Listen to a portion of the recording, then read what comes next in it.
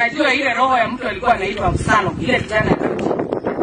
Vile alikuwa ananunua wale watu tunaita makuhani, anawaleta karibu na kuwaweka vizuri, kuwatendekeza, kuwabembeleza, ndio wamumwagie mafuta, atangazo yeye ndiye mfalme. Lakini Mungu alikuwa na mpango mwingine.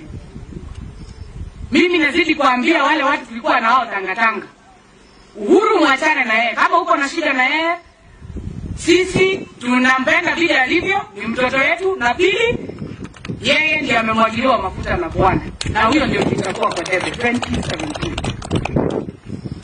Ya pili, Mungu kama aliponya nchi ya Israeli, nani huyu anaambia Wakikuyu ati Raila ndiye sura ya shetani, pepo nyeusi? Ati ukisikia Raila wakawashindwe na unasoma Biblia ile Mjaluo anasoma, Mukisia anasoma, Baluya anasoma, Mupea ile misa anatoa hapa ndio inatolewa kule Kisumu.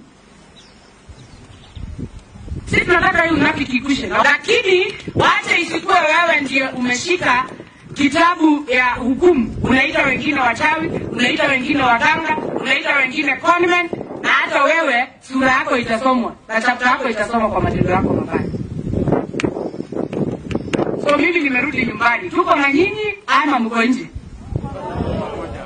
Hebu kwa mikono hivi nione, kwa sababu baraka iko mahali ile kwa kichwa iko, na hapo ndio uhuru. Tunasema uhuru ni rais, uhuru ni na baba ni baba na mama ni simba.